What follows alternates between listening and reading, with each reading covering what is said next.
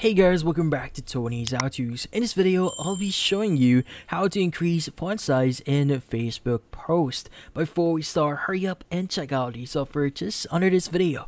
So let's get started. In this case, first thing you want to do here is we want to open up our Facebook app here. Now, typically when you visit your Facebook uh, app here, you'll have or you have the option to view posts here on a specific format.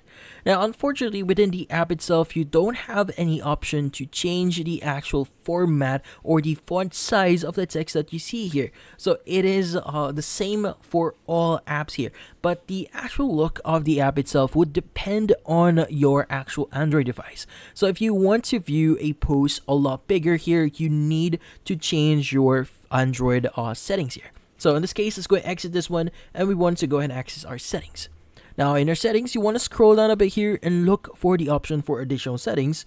And in here, you need to look for accessibility.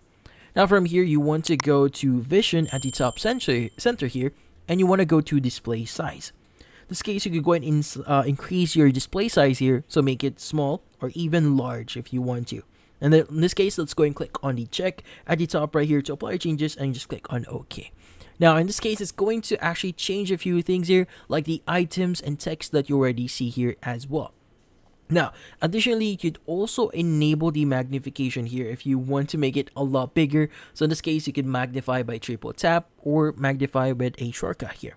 But in this case, we won't be using that. So once you've done that, let's go and exit our app here or settings and we want to go ahead and search for our Facebook app.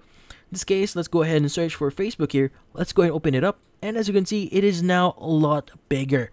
Now, in this case, uh, you can go ahead and just start viewing your Facebook posts here in a, lead, a larger format. And in this case, that's about it. So, if you found this video helpful, hit the like and subscribe button and watch our next video.